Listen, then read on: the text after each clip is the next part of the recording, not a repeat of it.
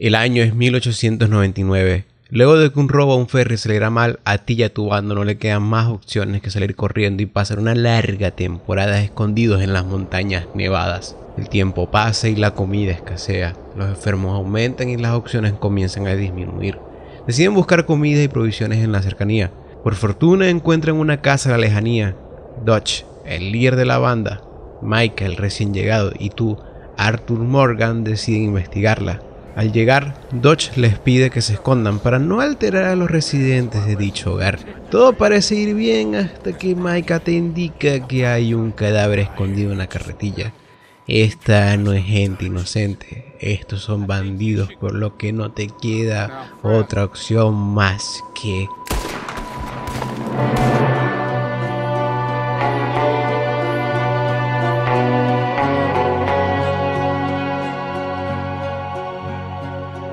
así como Red Dead Redemption 2 te da la bienvenida a su mundo. Los que me conocen o siguen el canal desde hace tiempo sabrán cómo yo soy un maniático por la ambientación en cualquier tipo de obras. Y para darte un ejemplo, cuando vi Made in Abyss me impresionó lo que lograron por medio de su ambientación, por lo que terminé haciendo este video de acá. Y ok, hasta aquí normal, ¿no? Pero no, gracias a este video fue que me decidí que el tema para mí de si fuese ese mismo, la ambientación. Así que con esto se dan una idea de lo enfermo que soy con este temita. Pero vamos a ver, si bien cuando digo la palabra ambientación puede que te venga a la cabeza hacia el escenario, el mundo demás donde ocurre una historia, es que estás en lo correcto, porque eso es. Pero va un poco más allá de un lugar bonito que impresione. La ambientación es algo que te ayuda a contar tu historia, y a explicar cómo se sienten tus personajes o quiénes son. Habiendo dicho esto, ¿qué es una buena ambientación?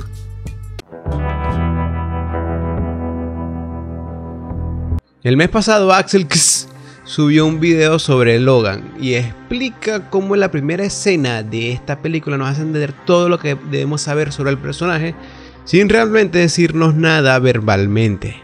En las primeras escenas, el director hace lo que puede para ponernos del lado del protagonista. Un hombre de traje durmiendo en el asiento trasero de su auto es despertado por unos ladrones que le querían sacar una rueda. Con eso ya entendemos que es una persona con un trabajo mal pagado que no solo no le da las horas de sueño necesarias, sino que lo manda a lugares horribles.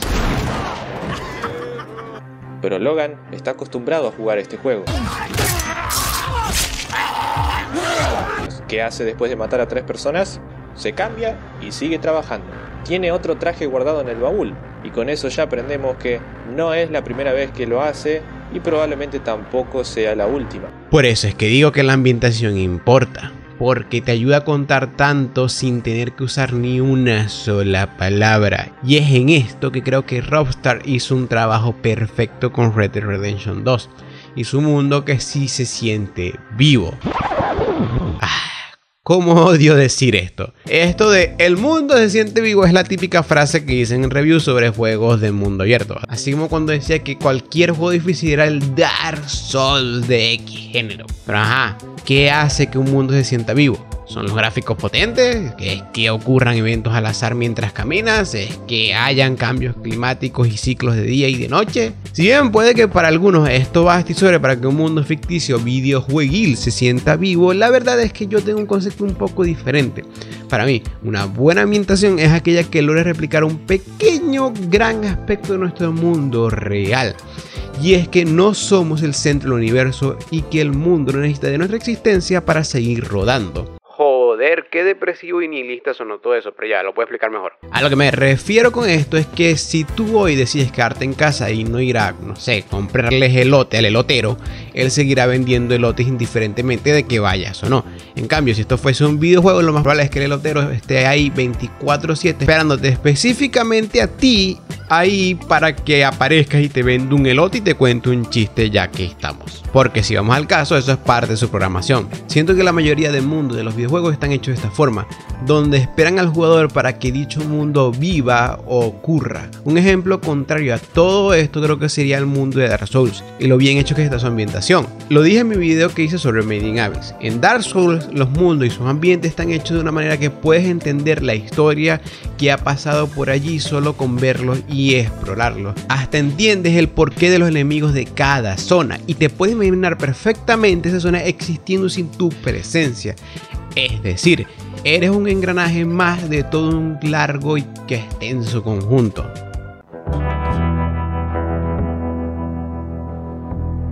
Vamos como por mitad de video y apenas es que me estoy dando cuenta que recién es que estoy comenzando a hablar del juego.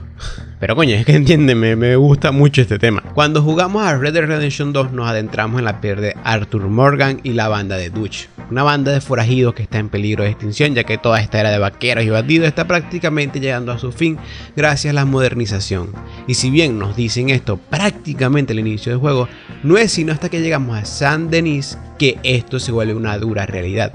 Antes de llegar a este lugar nos las pasábamos corriendo en nuestro caballo a través de amplios terrenos que se alargaban hasta donde llegara el ojo. La libertad que sentíamos al manejar durante todo este periodo de juego se va completamente cuando llegamos a San Denis. En San Denis hay edificios por doquier, las calles son estrechas, el ambiente tiene un poco de humo gracias a la industrialización. Sí, San Denis de noche es uno de los lugares más hermosos que hay en el juego, pero de día se siente jodidamente claustrofóbico y esta ambientación refleja la perfección el cómo se siente Arthur y los demás. Una banda de forajidos que se ven huyendo y huyendo de los tiempos modernos. Intentar manejar caballo en San Denis se siente horriblemente incómodo después de venir corriendo por prados gigantes y con plena libertad. Otra cosa es todo el ritmo de la ciudad como tal. Mm, ¿Cómo explicarlo? Yo antes de llegar a San Denis, decir que habré gastado más de, no sé, 300 o 400 dólares, es decir, mucho. Pero en San Denis, nada más caminando entre gente que me pedía dinero, gente que me robaba o me vendía un puto libro en 50 dólares, gasté 100 dólares los primeros minutos que estuve en la ciudad.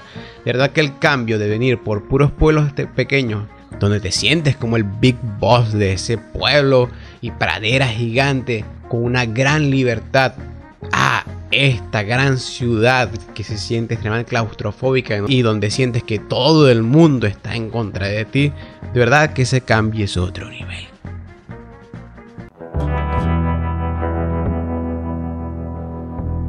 Luego de que rescatas al hijo de John Marshall en una de las misiones más épicas que tiene el juego, inmediatamente después de eso celebran la llegada del joven Jack con una fiesta y pasa esto.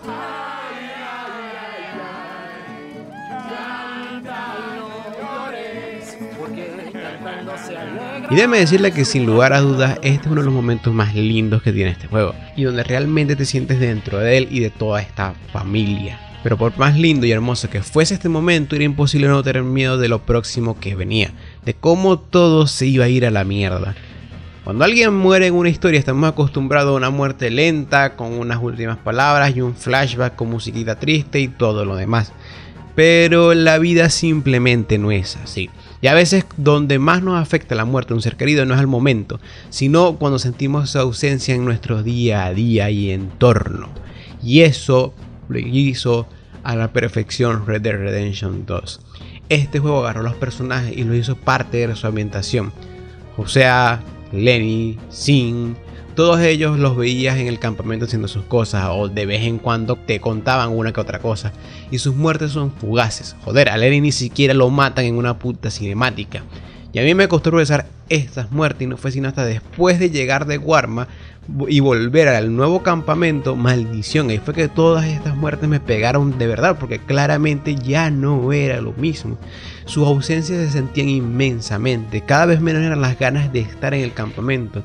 Y ya al final del juego, si no tenía misiones allí, directamente no iba porque me sabía y me sentía mal. Y lo más jodido y lo más espectacular es que no solamente era yo, los demás en el campamento también se sentían igual. Ya no se sentía esa vibra feliz de bandas, sino más bien la incertidumbre y pesar de si todo este plan de Dodge realmente llegará a algo.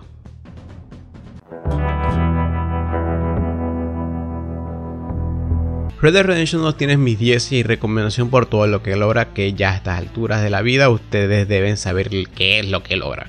Para mí lo que realmente me sorprendió es cómo agarra un entorno y le da un peso argumental, ya sea con sitios como San Denis, para hacerte entender el cómo se siente Dutch y su banda con toda esta la modernización, o con eventos aleatorios bien hechos que te hacen sentir más conectados con el ambiente que te rodea. Creo sin lugar a dudas que Red Dead Redemption 2 es en ambientación a los videojuegos lo que es El Señor de los Anillos en ambientación al mundo del cine. Y eso fue todo chicos y chicas, espero que el video te haya gustado. Eh, lamento un poquito mi ausencia, estaba viciado con Red Dead Redemption y de encima me enfermé como un estúpido. Pasé una semana en cama muriéndome, pero ya estoy mejor. Tampoco tenía mucha idea de qué hacer. Y esto igual lo explico en el próximo video que haga, así que si llegaste a jugar Red Dead Redemption 2, eh, cuéntame acá abajo qué te pareció, o sea, cuál es tu opinión acerca del juego. Mí me gustaría leer eso.